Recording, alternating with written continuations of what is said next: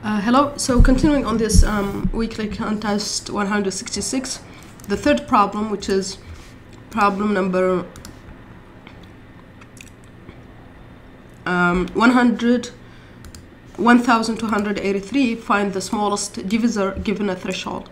So the problem says we get an array of integers and uh, numbers, um, nums, and an integer threshold. And we will choose a positive integer divisor and divide all the array by that divisor, essentially. And then take the sum after dividing. And uh, what we want is to find the smallest divisor such that when we do this division and get the sum, the sum is less than or equal to threshold and we want to round the the, for the division we want to round to the nearest integer greater than or equal to that element right so we want to round kind of um, down I would say. So maybe use math ceil or something. And uh, yeah so that's pretty much it uh, this problem. So 125 if we look at the example 1259 threshold is 6 if we divide we can try first like divide by 1 we will get 17 divide by 4 we'll get um, some 7 which is bigger than threshold. But when we get to 6 uh, sorry to uh, 5 and divide by 5 we'll get 5 right which is smaller than threshold so this is the smallest divisor that gives us the the result that we want um, and for this example here it's 3 but if we look at the constraint here you can see um, the array can be up to 50,000 numbers and the threshold can be up to 10 to the power of 6. So right away you could see here that binary search would be very useful for this because first the order here doesn't matter. We just need to divide and get the sum. So that means we can sort the array. Um, the problem doesn't specify necessarily that it's sorted but I think when I tried it without sorting it worked. So I think it kind of um, they just didn't set up uh, sample test cases with um, with an unsorted array, but we can anyway just sort it. Even that won't be too big because it would be n log n, so it would be still 10 to the power of 4 multiplied by a log of that, so it's not too big.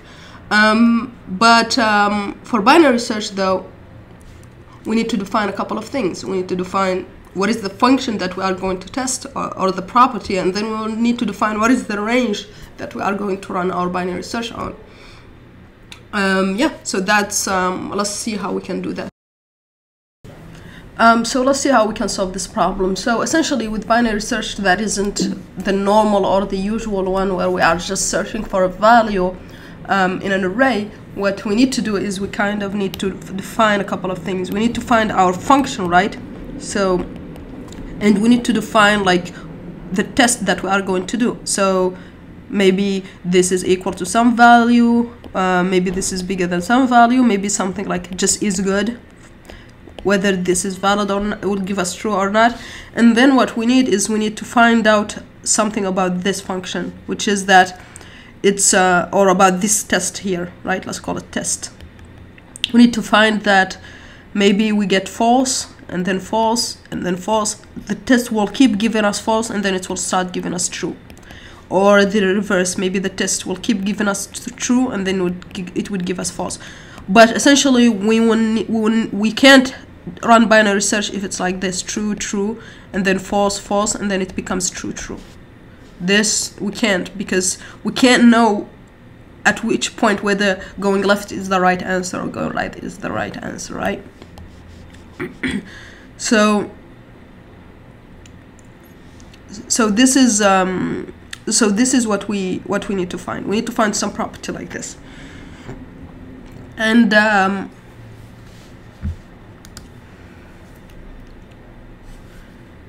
and so here in our case here what are we looking for we are looking for so what we, what we are looking for is what needs to be here because that's what we will get the mid for and that's what we return at the end when we are done right so here our x's needs to be the divisor, right? The divisor that we are going to test.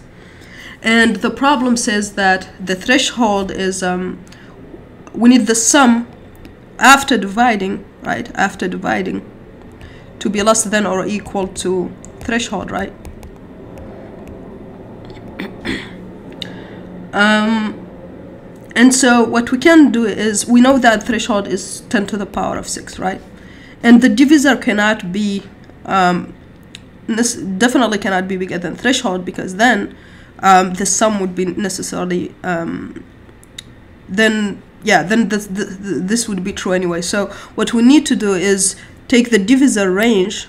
So for binary search, we need to find the function and the range of the solution of the possible solution, right?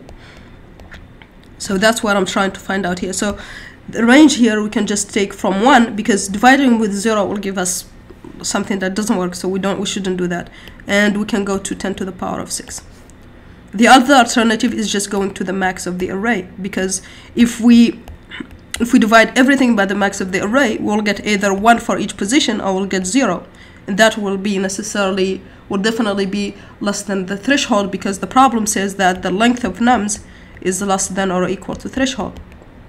So um, the other solution is just to do this and this will be faster because 10 to the power of 6 is um, is because the the numbers can go all the way up until but which is less than or equal to 10 to the power of 6 so the max even if it's the biggest number possible it will still be smaller right so we could just take the max nums, right? And now what is the function? So the function that we need to do, we just need to find, the problem says that the sum after dividing needs to be less than or equal to threshold. So that's exactly what we are going to use. So what we need is our function needs to be less than or equal to threshold. And then our function would be f of x is just the sum after dividing. So it's just x is the divisor, right? So maybe let's just make this more expressive and give this d. And so this would be for every element in the array, we will take according to the problem it asks us to do. Uh, so we'll just use Python's math.ceil and we'll take every number in the array divided by d, take the ceiling, and then take the sum of this, right? Because that's what we want at the end to be less than or equal to threshold. And so we take the sum of that, and if it's less than the threshold, what should happen? So let's say we have a divisor. So the divisor will go from 1 to max of nums, as we said, right? So what is the pattern? So we are looking for one of these, right? So if it's so if it's small, so when we increase the divisor, right, that means that the the number when you divide the number it would be smaller, right? And so that means that if it was smaller for some number and then you increase the divisor, it will still be smaller, right? And so as we increase, when we find a place where it's smaller than the divisor, and we find true, if we increase the divisor, that will just, so if we have, let's say, x1, a1, a2, a3, a4, say divisor was 2, right? And then we had some s for that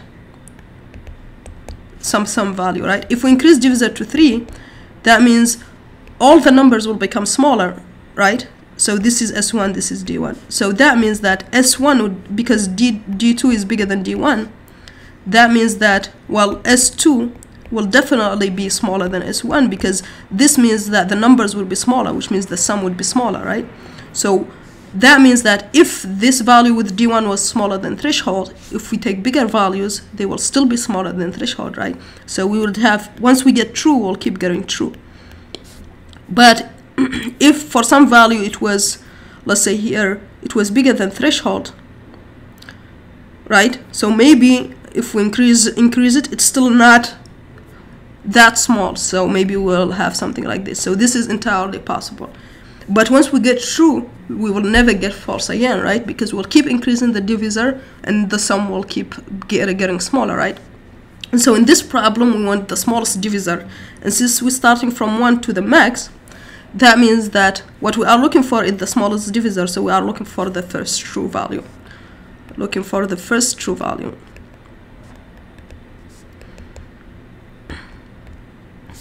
Which is basically the smallest divisor. and this is the for binary search to work here we will need to the problem needs to be asking for either the first true value or the last false value right? Or if we have something like this, it needs to be asking for the first false value or the last true value. Otherwise, we won't be able to solve it using binary search here. And so here we have everything set up for us. We know the we know the function. We want we know the range that we are searching in, and we know the function that we will use, right? And so right now we could just um, do binary search, basically saying the lower value, setting the lower value to one, setting the higher value to max of numbers, and then checking if the mid value is um, less than or f of mid value is less than or equal to threshold, then we need to go where we need to go right because if we go right, um, sorry, we'll need to go left because okay, let me let me write it. That would be easier. So let's write our binary search here. So we would have low and high value would be zero and then length of and then the max number as we said, right? So max of nums and we'll start doing our binary search, right? So binary search here, while they haven't met, we'll compute the mid. And then we'll check if f of mid. So f of mid is th this entire thing. Uh, actually, I'm going to change this a little bit. So I'm going to say this is good. Um, or maybe you know what let's just do f of mid is less than or equal to threshold. Right? So what this would mean is that maybe we are here but maybe also we are here right? We don't know which true is it. There is no need to go right because if we go right we will keep getting bigger bigger um, we will keep we will get only bigger divisors right? But we are looking for is the first value. So either here which means we are we will we need to stay at mid or, or here, and that means we will need to go left, which means here what we need to do is go left, but stay at mid because maybe the solution is mid, right? So that would mean what we need to do is we will need to say our lower value. To go left, you need to set higher value, right? So you need to set higher value to mid, right? Why we usually we do mid um, we do mid minus 1 but here because maybe this is the the actual first row that we are looking for so that's why we are doing that. And then otherwise that means it's a false. So maybe we are here but maybe we're also here. But in any case if we are here or here we have to move right to get a true value right? So that means here we have to go right. So we need low to be equal to uh, mid plus 1 to go right, right? And then at the end, when both meet, we can just return high because that's the, the one that we set to a mid. And when we are done, that means they met somewhere here on the first true value. And so we need to return um, high. Or low for that matter because they will be equal, right? And f of mid would be just as we said here is the sum of math.ceil of a divided by d uh, for a in the in the array right? And that's pretty much it for for this uh, binary search. And so yeah the takeaway here is that think of a property that has this attribute of being false and then be becoming true or the reverse being true and then becoming false. And then think about the range of your x value and then think about the um, think about the function that you will use. And pretty much once that is done you could um, you could solve it.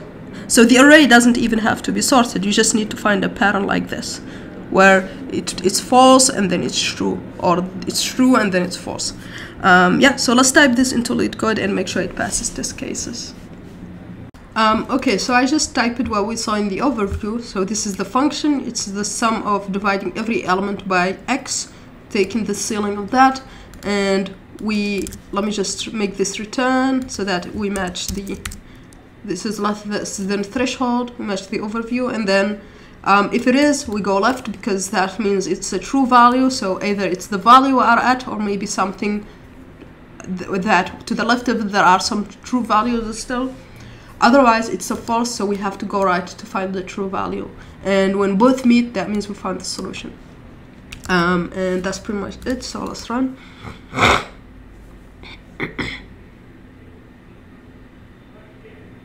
Okay let's submit.